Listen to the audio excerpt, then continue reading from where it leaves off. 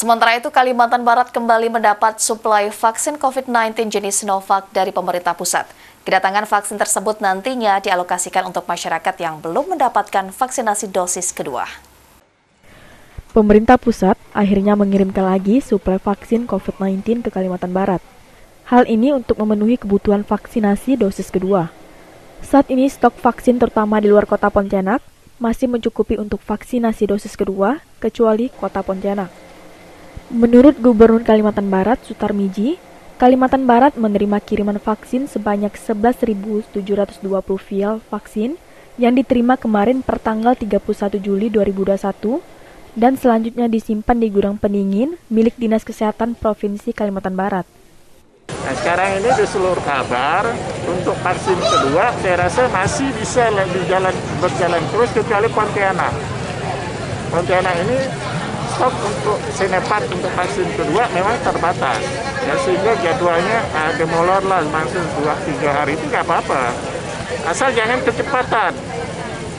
Kalau 28 hari misalnya dibuat dari 25 hari ya itu mungkin salah ya.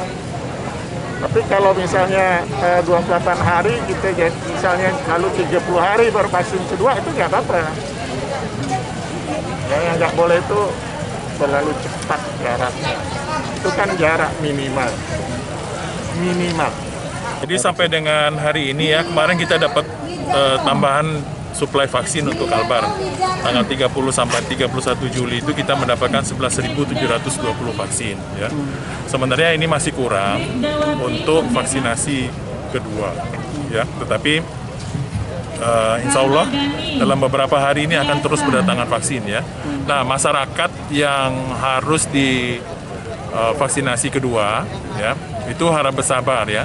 Kalau Anda ditentukan di situ misalnya tanggal 1 sudah harus vaksin, itu sebenarnya tanggal minimal ya. Tanggal minimal ya. Uh, artinya uh, sebelum tanggal itu Anda tidak boleh divaksin kedua. Tapi kalau setelah uh, itu Anda boleh ya dan itu ada toleransi 7 sampai 10 hari ya.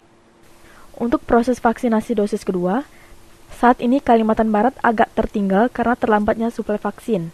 Namun dengan datangnya kiriman vaksin ini, keterlambatan tersebut akan dikejar dengan melaksanakan vaksinasi massal.